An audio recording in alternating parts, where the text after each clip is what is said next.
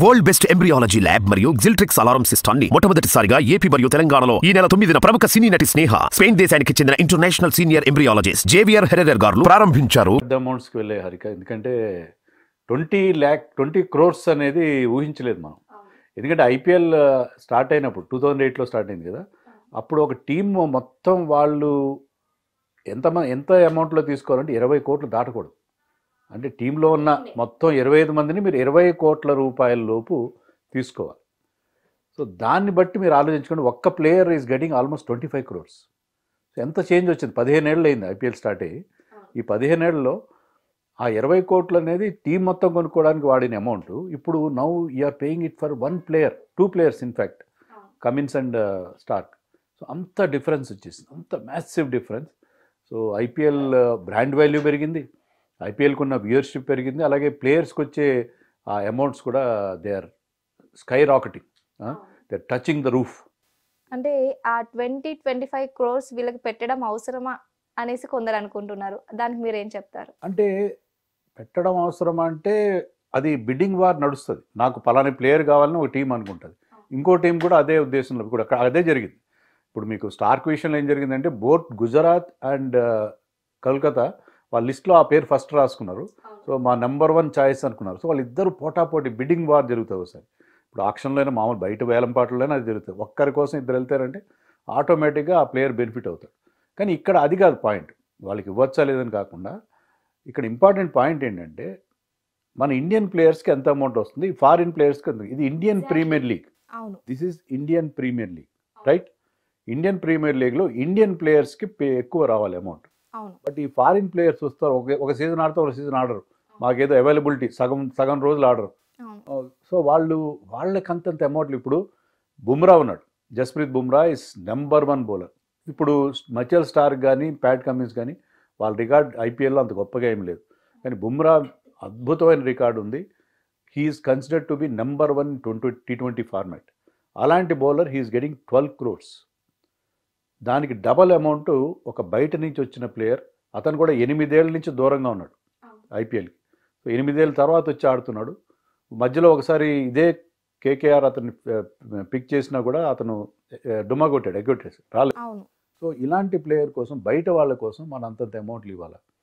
మన వాళ్ళకి తక్కువ. ఈవెన్ రోహిత్ శర్మ విరాట్ కోహ్లీ వీళ్ళ గ్లామర్ని బట్టి కదా ఐపీఎల్ నడుస్తుంది. I think Virat Kohli is getting seventeen crores Rohit Sharma is getting sixteen crores. So వాళ్ళకంటే వీళ్ళకి ఎక్కువ అమౌంట్ రావడం ఏంటి? అది కొంచెం అన్యాయం.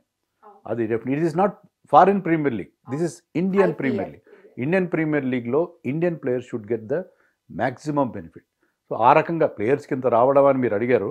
దానికి నా సమాధానం అంటే ఇండియన్ ప్లేయర్స్కి వస్తే ఐ విల్ బీ హ్యాపీ ఎందుకంటే రేపు పొద్దున్న ఏ విరాట్ కోహ్లీకో బుమ్రాకో పాతి కోట్లు వస్తే యంగ్స్టర్స్ కూడా ఇన్స్పైర్ అవుతారు. ఒకసారి నేను బాగా ఆడితే నేను ఆ లెవెల్కి వెళ్తాను. వెళ్తాను. నా ఫ్యామిలీ సెటిల్ అయిపోతుంది నా లైఫ్ సెటిల్ అయిపోతుంది అని వాళ్ళకి ఒక ఇన్సెంటివ్ ఇండియాకి ఆడినా ఆడకపోయినా. There certain players who never played for India but ఐపీఎల్లో రెగ్యులర్గా ఆడడం వల్ల కూడా వాళ్ళు మంచి ఒక కెరియర్ని బిల్డప్ చేస్తున్నారు. సో అలాంటిది ఉంటుంది. కానీ ఫారినర్స్ వచ్చేసి వాళ్ళు డామినేటెడ్ ఈసారి ఆక్షన్లో చూడండి పది కోట్ల పైన అమౌంట్ ఒక ఆరు మందికి అంతమందికి వచ్చింది. దాంట్లో five happen to be foreigners అదే నేను ఈ క్వశ్చన్ ఉంది పక్కా ఉంది. యా అంటే మన ఇండియన్ ప్లేయర్స్ తక్కువ ఉన్నారు ఎక్కువ మంది ఫారిన్ ప్లేయర్సే మళ్ళీ వాళ్ళకి ఎక్కువ అమౌంట్ పెట్టడం మన వాళ్ళకి తక్కువ పెట్టడం. ఇలానే జరుగుతుంది. ఇది ఏంటంటే మనకి ఎప్పుడు ఇంపోర్టెడ్ గూడ్స్ మీద మోజు ఉంటుంది కదా. మనందరికీ. ఆ, ఈ వాచ్ నాకు సింగపూర్ నుంచి తెచ్చుకున్నాను లేకపోతే అమెరికా నుంచి వచ్చింది. అని చెప్తే అవి ఇండియాలో కూడా దొరుకుతాయి. కానీ ఏంటంటే ఇంపోర్టెడ్ అంటే మనకు మోజు ఉంటుంది ఎప్పుడు. అవును. సో ఇది కూడా అదే జరుగుతుంది. ఏంటంటే పెరటి చెట్టు వైద్యానికి పనికిరాదని తెలుగు సామెత ఉంది. సో మన మనది మనకు నచ్చదు.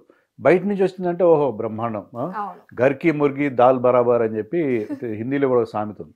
సో మనది మనకి ఎప్పుడు నచ్చదు. బయటది చూస్తే ఓ సూపర్ సూపర్ అనుకుంటాం.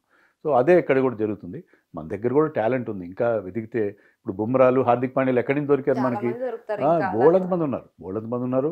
వాళ్ళకి ప్రాపర్గా మీరు వాళ్ళని ఛానలైజ్ చేసి ప్రాపర్గా తీసుకొస్తే దే విల్ క్రియేట్ వండర్స్ అలాంటి చేంజ్ వస్తుందని మీరు అనుకుంటున్నారా? డెఫినెట్గా వస్తుంది. బికాజ్ ఐపీఎల్లో ఉన్న గొప్పతనం ఏంటంటే ఇదేదో గవర్నమెంట్ రన్ చేసేది అలాంటిది కాదు. దిట్స్ ప్యూర్లీ కమర్షియల్ వెంచర్ అక్కడ టాలెంట్కే పెద్దపీట వేస్తారు. సో టాలెంట్ ఉంటే మిమ్మల్ని ఖచ్చితంగా వాళ్ళు సెలెక్ట్ చేస్తారు. మీకు మంచి ఇది కూడా ఇస్తారు. మంచి ప్రిఫరెన్స్ కూడా ఇస్తారు. సో ఐపీఎల్లో ఉన్నదానికి మిగతా వాటికి మిగతా అన్ని రంగాల్లో మీరు సినిమాలు తీసుకోండి. ఎనీ ఫీల్డ్ పాలిటిక్స్ అక్కడ టాలెంట్ అనేది ఒకటే పనిచేయదు అనేక రకాల ఫ్యాక్టర్స్ పనిచేస్తాయి కానీ కమర్షియల్ వెంచర్ కాబట్టి ఇక్కడ ఖచ్చితంగా టాలెంట్కి పెట్టి వేస్తారు.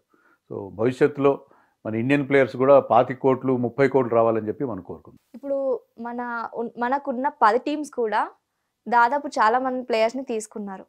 అయితే ఏ టీం చూస్తే ఈ టీం స్ట్రాంగ్ అయిపోయింది వీళ్ళని తీసుకోవడం వల్ల అనిపించింది? నన్ను అడిగితే రెండు టీమ్స్ చెప్తాను నేను. ఒకటి Chennai Super Kings okay. Chennai Super Kings as it ఈస్గా స్ట్రాంగ్గా ఉంది. వాళ్ళకి ఏంటంటే కొన్ని మంచి మంచి ప్లేయర్స్ యాడ్ అయ్యారు.